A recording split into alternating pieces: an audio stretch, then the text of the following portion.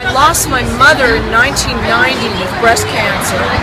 Uh, she had a 10-year battle with breast cancer. And two years before she passed away, my father passed away with brain cancer. So I lost both my mother and my father back to back with cancer. It's a horrible, devastating disease.